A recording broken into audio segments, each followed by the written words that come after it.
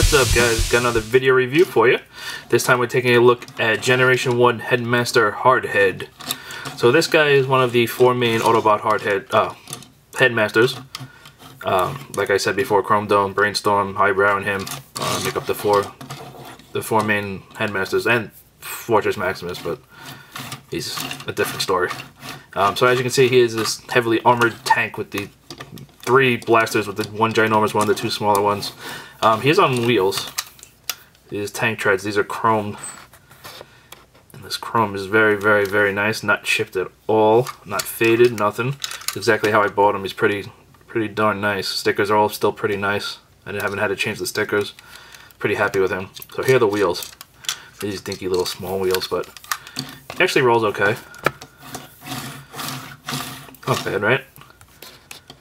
Um, so yeah, his, if we go up in the cockpit, we fold the cockpit back, and you can actually keep the weapons on and unfold the cockpit, which is pretty cool. Inside, he's kind of chilling, is his headmaster, Duros.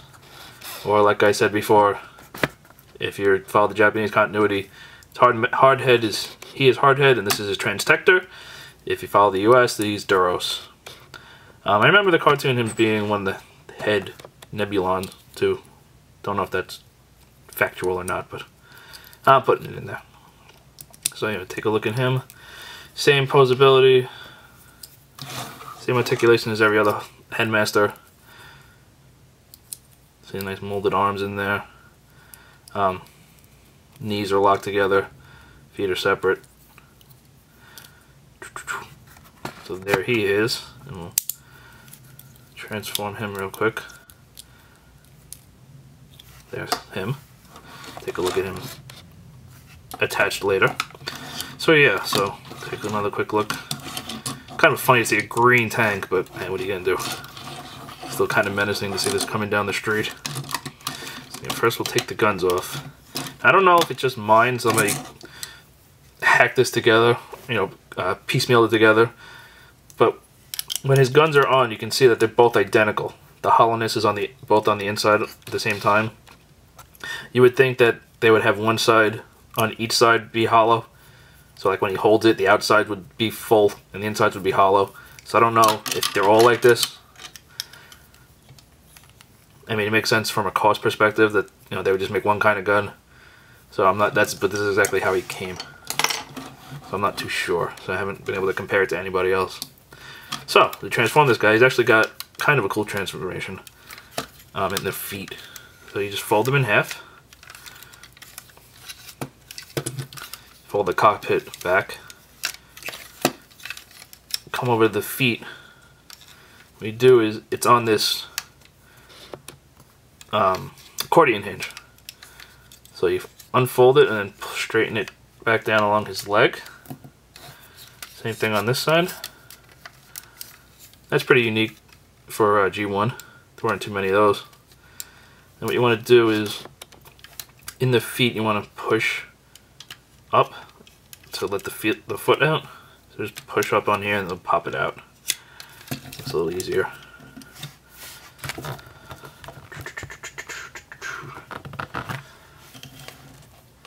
So then the hands are underneath. They just flip out. Flip out. Cannon just kind of goes whatever way you want to pose it. And this guy's pretty big. So let's... You know how I like to do with the headmasters. Flip his chest piece open. And we yell, head on. And we plug him in. And there's his tech specs. So he's slow. He's incredibly strong, and he's kind of dumb. Kind of fits him. Uh, he was he wasn't the fastest, but he was incredibly strong. Um, but he wasn't that dumb. I would have put his intelligence a little higher. So we can fold that back up. Take a look at his face. It's pretty accurate. It's more accurate than like Chrome Dome. Not bad. Not bad, not bad. He is very big, especially with his giant cannon. But that's what I like about him. I like his giant cannon. Another thing that's weird is the pellet, the posts in his hands are square. There's a round post like inset, so they fit in just fine. So articulation, nothing at the head, arms swivel all the way around, no elbows, fists can move down for the transformation. I don't know why you want to shoot, so you shoot somebody behind you. Don't know why you want to do that. Nothing at the waist. Um, feet can move in for the transformation. That's about it. They can pivot up to his transfer for, for the transformation.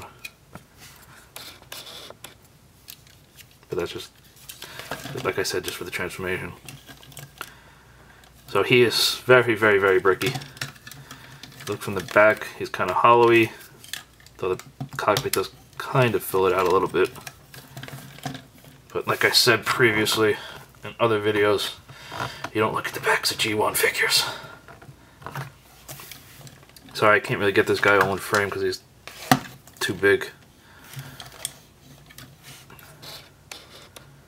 So, size comparison, grind rod, and you guessed it, Hearts of Steel Thundercracker, that's what I've got lying around over here. So yeah, I mean, if you're a Headmasters fan, you have to get this guy. If you had to get one Headmaster, at least on the Autobots, I would probably get, so far, from the ones I have, either him or Chrome Dome. I would try to get him first, because I really do, I really do dig him. He is very cool. Let me just pull back for a second. So I can at least get him in frame. He is very, very big. As you can as you can see, he is quite large. So yeah, just want to show you real quick his I'm all in frame. You know what I didn't test?